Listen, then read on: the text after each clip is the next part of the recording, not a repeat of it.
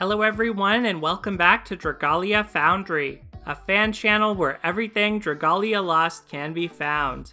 In today's video, I'll be talking about the Twinkling Twilight event. I'll play through Astral High Swarmer, and basically just want to give some feedback since this is our second ever Onslaught event, and I think the Dragalia dev team definitely improved certain things compared to our first Onslaught event, United Front, a couple months ago and I think there are still some things that can be improved in the future.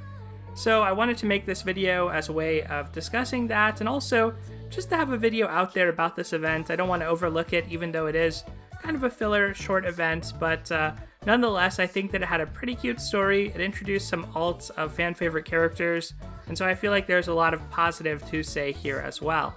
So let's go ahead and get into the event page. Obviously this event introduced Yukata Cassandra and Yukata Curran, it's another Onslaught event. Our first one was Nadine and Linnea's United Front.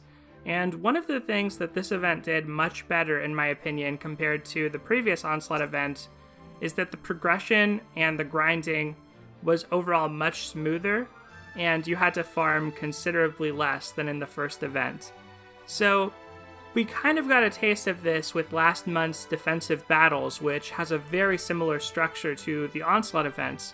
But basically, they made it so that each of these stages in the event, you really only had to do each quest one time total, and you could immediately move on to the next stage. So you didn't have to repeatedly farm the previous stage just to unlock the next stage as you did the first time this was around. So already the day one play experience for this was 100% better. It meant that you didn't have to farm out the previous difficulty like 20 times to unlock the next difficulty, you could just progress through one level at a time. So that's something I have to give a lot of props for. At the same time, we kind of expected that to be coming because that came in the defensive battles that we got last month as well. So the second thing that they changed from a gameplay standpoint is they added this Astral High Midgardsormr Assault, which costs a stratagem to play there was an interesting story actually about the great worms and uh, their high dragon forms, astral awakening. It kind of reminded me that we don't actually know a lot about the astrals and the fact that they're kind of manifest memories in this world. So that could actually be a rich avenue in the future if they decide to flesh out what the astrals are or how they work a little bit more. I'm not necessarily expecting that, but I do expect in future Onslaught events we'll get other high dragons in these astral forms and have to battle them as a dragon. So, what surprised me about this, and I'll show you, I suppose it'll default to who I used in the past. I guess this is what I used. I want to say I may have switched to Gala Mars now that I have him, but I have heard Apollo is pretty effective for this, so let's go ahead and try it out. And we'll turn off autoplay so we can kind of enjoy this. We'll turn on uh, some of the camera shake features and whatnot that are pretty exciting when you're in a dragon battle but are a little less convenient when you're in an endgame battle. So we'll do all of that. What surprised me to hear about this was this was a pretty big sticking point for players. Like, this was a significant challenge for some players. I kind of didn't notice this, and I think it has to do with stat creep on gear, where the gear I had just made this probably considerably easier than it's going to be for players who don't have that same level of gear. My expectation would be that with Chimera Tech weapons, this wouldn't be too hard, but uh, it was apparently pretty hard for some players, so I just want to acknowledge that. But basically, with somebody like Apollo, you have a lot of leeway to just dodge and just stay away from Midgardsormr's attacks altogether. And uh, we're dealing decent damage.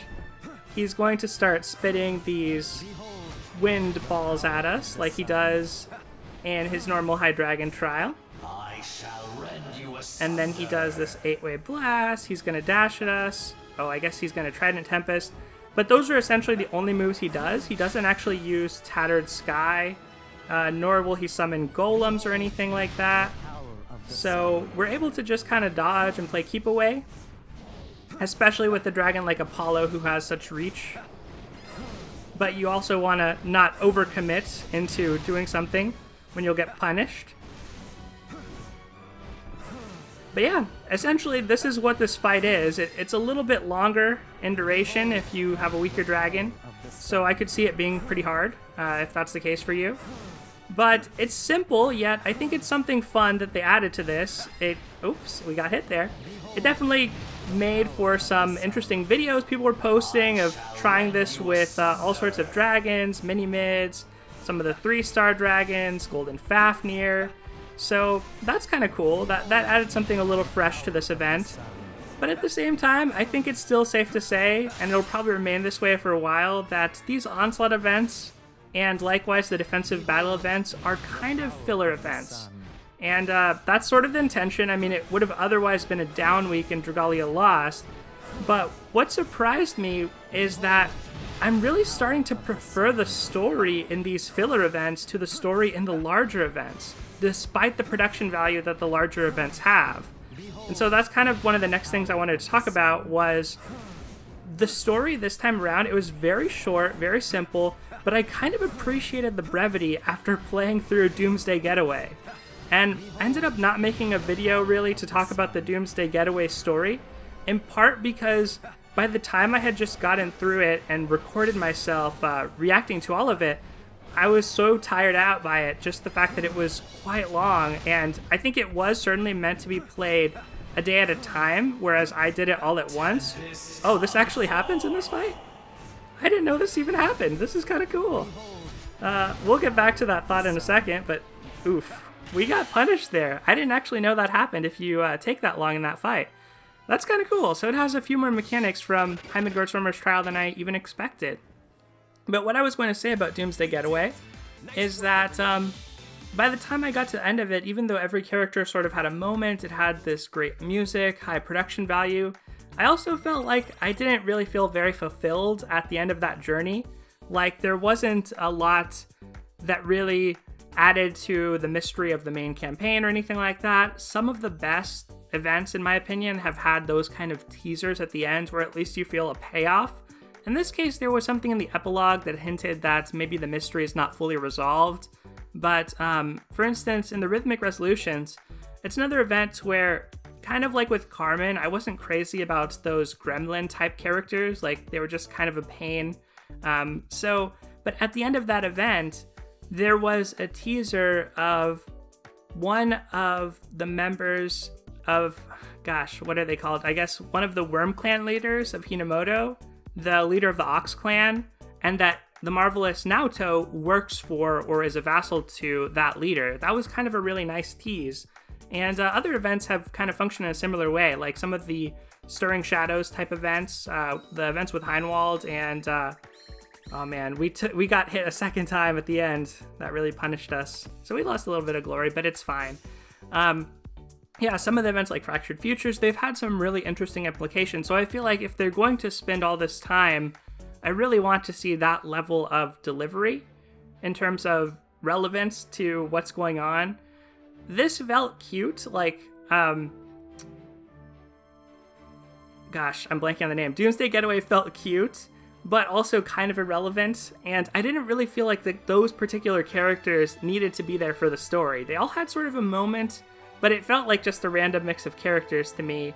And with Twinkling Twilight, I just felt like the smaller cast, like just having Curran and having Cassandra and Lathna and Heinwald making small cameos, it felt very compact and very neat. And the moment at the end with her and Audric, or the memory of Audric slash Aurelius, was really nice. I mean, it was very simple, but really nice. It felt a lot more like some of the adventure stories in this game, which I think are done pretty well. So that's kind of how I feel about this story. In terms of the reward structure, I already mentioned how it's convenient that when you first start off the event on day one, you unlock everything very rapidly, one stage at a time. You don't have to repeatedly play anything. The other thing I want to mention is that just like with the defensive battles last month, they made it so that you're getting a lot more glory per run. And I think they actually lined it up super well to where if you just do your dailies in this every day, you're going to be close to the 2 million mark by the end of the content. So if you just do your dailies, maybe spend your stratagems, do a little bit more of play, I'm pretty sure you can get to 2 million, and I'm definitely sure from an expected value standpoint, it's worth spending the honey to go to 2 million. So I like that about it. They've really lined it up in a much more convenient way, considering that this is more of a grindy kind of filler event. And again, we got the tomes, which is a really nice reward, as well as all the honey. I'm pretty sure I'm sitting on a ton of honey right now.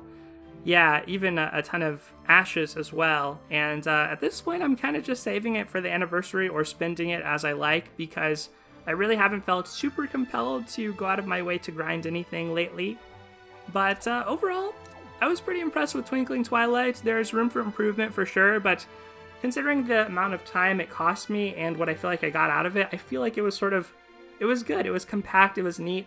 And uh, with Doomsday Getaway and Rhythmic Resolutions, I didn't really feel that same sense of satisfaction. It might be because those events lasted longer. Maybe I'm getting a little tired of the reading the story format, so I probably won't do that for the upcoming story chapter. I'll just maybe read the last few parts of it and give a small reaction. But I think I prefer to just give my reactions after the fact. It's a little bit neater and it's less exhausting trying to read everything and then formulate an opinion. But anyway, that's pretty much what I thought about Twinkling Twilight. So let me know what you thought about it in the comments below. I'm curious what you think about this event format, and uh, as for next month, I fully expect we'll get defensive battles in September. I honestly think they're just going to reuse the maps from Fire Emblem crossover part 2 instead of part 1 like they did in last month's defensive battles. So I think it's a little too soon for them to have uh, fully adjusted and reacted to the fact that we're saying that we want new content. But uh, nonetheless, I think that that will be another fine filler event. I expect it to be really quiet until they drop a proper anniversary announcement of the anniversary content that's to come. And then maybe after that, this series of events will be refreshed a little bit and be a little more interesting. It's possible they'll just sort of stay how they are, and if that's the case, I don't mind. Some things that I think could make them a little bit more aesthetically appealing. You know, if they replaced Euden here with one of the event characters, Maybe if they occasionally mixed up the background music. I mean, this background music's kind of generic, but it's okay. And obviously, if they mixed around with the position of things on the map, even if it's kind of the same progression, or like maybe it's winter and now everything's covered in snow and it's a December onslaught event or something. Like, there are subtle ways that I think they could tweak it, but at the end of the day, I feel like it's a way of saving development resources. The fact that it's sort of stock and then they put that into the story and other content that is more high budget, like the raids and facility events. But yeah, that's kind of what I think about Twinkling Twilight. I guess I've said that a couple times now. That is going to do it for today's video, everyone. So, hope you have a great day. Thank you so much for watching. Take care, and I'll see you next time.